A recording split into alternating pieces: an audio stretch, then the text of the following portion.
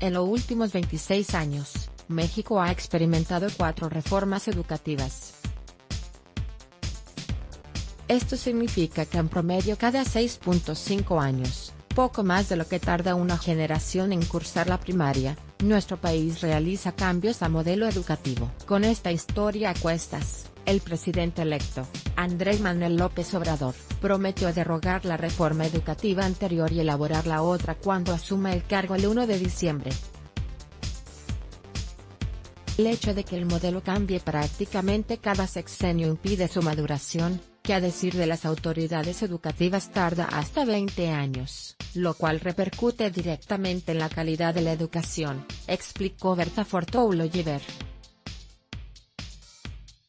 Especialista en educación de la Universidad La Salle. Es un hecho que estamos retomando la posición de que cambio de gobierno implica cambio de modelo educativo, que fue nuestra forma de operar durante los 80 y los 90. Esta vez estamos retomando este modelo de cambio de partido en el poder, cambio de personas, y eso a la larga no favorece los modelos formativos de largo alcance, dijo la especialista. De acuerdo al estudio La escuela que queremos de la organización Mexicanos Primero, las cuatro reformas son, modernización, la nueva escuela mexicana, reforma integral de la educación básica y la reforma educativa. La reforma de la modernización fue impulsada por Carlos Salinas y Ernesto Cedillo, cuyos ejes principales fueron la federalización de la educación, la renovación de los contenidos y materiales, y revalorización de la profesión magisterial. A partir de esta reforma, se le otorgó la facultad a los 31 estados de la República, excepto el entonces Departamento del Distrito Federal, de ejercer el control de la educación básica, lo cual incluía nómina. Respecto a los nuevos contenidos, en 1997 se reformaron para darle prioridad a la enseñanza de español, matemáticas, sin dejar de lado los conocimientos sociales y del entorno natural. Finalmente, al magisterio se le prometió mejorar en su formación, actualización, salario profesional, vivienda, carrera magisterial y aprecio social por su trabajo. Esta reforma aguantó hasta la alternancia. En 2003 Vicente Fox impulsó su propia visión educativa. Aunque no reformó la ley, en la práctica trató de implementar novedades para crear la nueva escuela mexicana. Así llegaron en ciclo media y una reforma a la educación secundaria que al término del sexenio no tuvieron continuidad.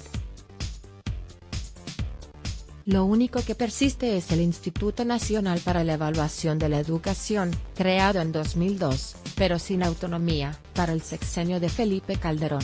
De nueva cuenta se registró un cambio en la política educativa, ahora con la llamada Reforma Integral de la Educación Básica, RIEB, la cual planteó como principal eje la homologación curricular entre todos los niveles para darle prioridad a las competencias. Es en este sexenio cuando comienzan las evaluaciones, enlace para los alumnos y exámenes sin consecuencias para los maestros. La RIEG murió con el sexenio y fue sustituida en 2013 por la reforma educativa de Enrique Peña Nieto. Ahora, la evaluación magisterial sería obligatoria y con consecuencias mientras que en los salones de clase se cambiaría un nuevo modelo educativo con enfoque en lo socioemocional y con las competencias para aprender a aprender, todo incluido en nuevos libros de texto. También se sustituyó a Enlace por Planea. para Fortoulo Giver. Los cambios tan radicales de política pública en educación impiden madurar las reformas.